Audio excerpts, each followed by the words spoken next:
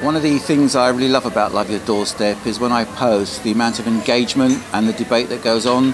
You get that real feeling of people that are interested, um, asking me for advice sometimes, or me advising other people on, on different things. Um, so I just find that engagement really stimulating, and, and, that's what really sets Love Your Doorstep apart from some of the other groups and uh, organisations.